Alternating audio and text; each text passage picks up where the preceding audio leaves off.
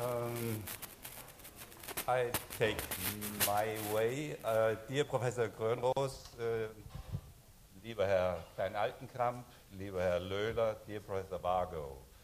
On behalf of the University of Bayreuth, the Faculty of Law, Business and Economics, and the Foundation for International Management in Bayreuth, I would like to welcome you uh, at the University of Bayreuth to the symposium Service Dominant Logic.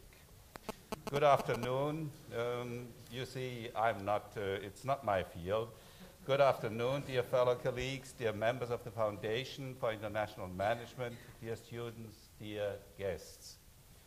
I would like to welcome our colleagues and guests who came to Bayreuth and are in to attend this symposium. Unfortunately, it was also already mentioned, my colleague Herbert Woratschek, who organized this symposium, cannot be here today because he recovers from surgery. He really would have loved to be part of this event, and he sent his greetings to all of you. But he's uh, mm, on a good way to, yeah.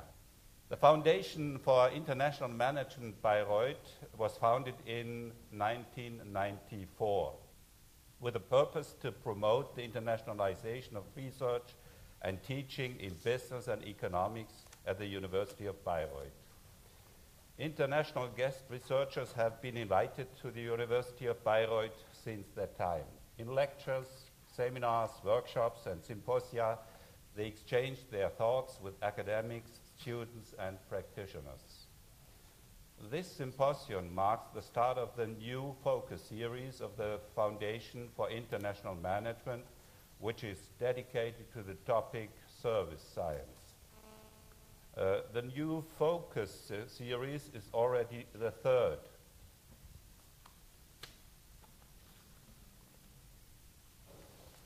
One, two, three. Uh, the third uh, in a row of series which provide the framework for the invitation of international guest researchers. The core and the highlight of each focus series is the control of the Ludwig Erhard guest professorships to an internationally highly recognized and reputed researcher in the special field. Uh, you find a slide here. Okay. um, it's a great honor for us and an excellent start for the new focus series uh, that four outstanding researchers agree to be part of this symposium. And in, it's my pleasure to introduce these four keynote speakers to you. Herbert Woratschek's idea to organize a symposium on the topic of service dominant logic is not really surprising. In 2004, an article entitled evolving to a new dominant logic for marketing was published in the Journal of Marketing, which is considered as one of the most important journals in the discipline of marketing. To publish in the Journal of Marketing is certainly an outstanding academic achievement. Beyond this, this article is outstanding. It has probably been one of the most influential articles in marketing theory and marketing research within the last few years. The article itself, as well as the following debate, has certainly been a greatest contribution to the advancement of theory in the field. The two authors who succeeded in inspiring the academic discussion are Stephen Vargo and Robert Lusch, I hope. It's great honor, uh, honor to us that one of them is here today uh, to share his thoughts with us, Steve Vargo, distinguished professor of marketing at the Shidler College uh, at the University of Hawaii at Manoa, correct? Uh, okay.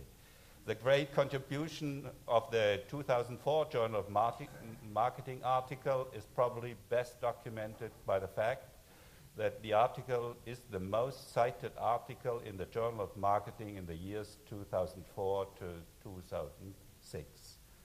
After the publication of the first article, Stephen Vargo and Robert Lusch in 2004 There was a controversial discussion about a shift of paradigms in marketing from a good, goods dominant logic to a service dominant logic. As a consequence, numerous papers have been published on the subject, and Stephen Vargo and Robert Lusch developed the ide their ideas and got a number of articles published on that topic. In 2006, the two co-authors published the book, The Service Dominant Logic of Marketing, Dialogue, Debate, and Directions, which summarizes a number of articles on that issue. In addition, to their in addition, their research became one of the most uh, popular issues to be discussed on academic conference, research, colloquia, like our symposium here today. On the Service Dominant Logic website, you find that Service Dominant Logic is mindset for a unified understanding of the purpose and nature of organizations, markets, and society. According to Stephen Vargo, the servant service dominant logic is not a new theory. It rather involves and builds upon a number of theories that have been discussed and used in marketing before. Consequently, one of the major contributions of C Stephen Vargo's and Robert Lusch's work is probably putting these theories together in a framework and thus providing a basis for a general theory of the market and marketing. Let me now come to Mr. Grönroos. One of the concepts that is involved in the service dominant logic is the notion that value is uh, co-created with a customer. Especially in Europe, researchers in services marketing have embedded this notion in their work for quite a long time. For example, Christian Grönroos in the year 2000 stated, the focus is not on products but on the customer's value, creating processes, and the focus of marketing is value creation rather than value distribution. Dear Christian Grönroos, welcome to our symposium. Christian Grönroos is Professor of Service and Relationship Marketing at Hanken University Uh, school of Economics in Helsinki, Finland. He is one of the early developers and most highly recognized researchers from so-called Nordic School of Service Marketing. The central assumption within this school is that the interaction between the service providers and the customer should be the focus of all marketing activities. For this reason, relationship marketing is at the heart of research in the Nordic school. Christian Grönroos' outstanding contribution within the field of relationship marketing is manifested by the fact that two of his articles belong to those articles most downloaded, downloaded among the articles on the publisher's Emerald website. One of them goes back to the year 1994 and is entitled From Marketing Mix to Relationship Marketing toward a paradigm shift in marketing. This shows not only the long history, but only the long-term impact of these thoughts. Therefore, we are very proud that Christian Grönroos is here today to give us some insight on the service dominant logic from the perspective of relationship marketing. Professor Michael Klein-Altenkamp. There is a, also a very long tradition of research on services marketing and management in Germany due to the importance of this area in research as well as for management, the University of Bayreuth was one of the first universities in Germany to install a chair for services management in 1997 with Herbert Woratschek. An intensive discussion about the nature of services and the differences between goods and services has been going on in the German marketing community community in the 1980s and 1990s. One of the main outcomes of this discussion was that there is a that there that a clear distinction between goods and services is not possible, but also not, not necessary. Rather, there are, two, uh, there are some characteristics of goods and services that should be taken into account when developing marketing strategies. This school of thought is well known under the label of Leistungslehre and was mainly developed by Hans Engelhardt and his colleagues Martin Reckenfelderbäumer and, Ma and Michael Klein-Altenkamp. So I'm very happy to welcome Michael Klein-Altenkamp uh, in our room. Michael Klein-Altenkamp is now Professor of Business and Services Marketing at the Freie University Berlin.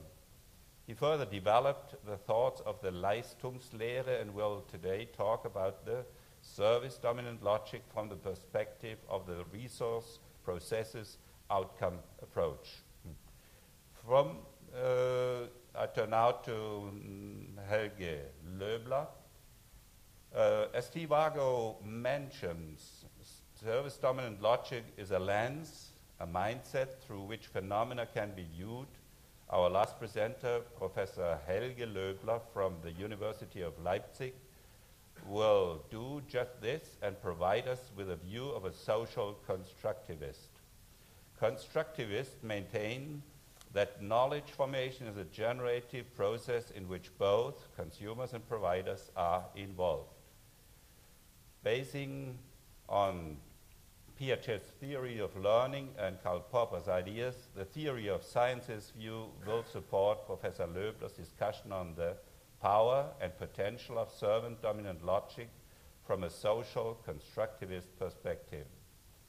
So, last but not least, welcome Professor Löbler in our symposium. Dear ladies and gentlemen, once again, I would like to thank you all uh, very much for being here today, and I hope you're looking forward to the presentation of our four speakers. Thank you for your kind attention. I now uh, hand over to you, uh, Professor Stephen Vargo, for your first presentation.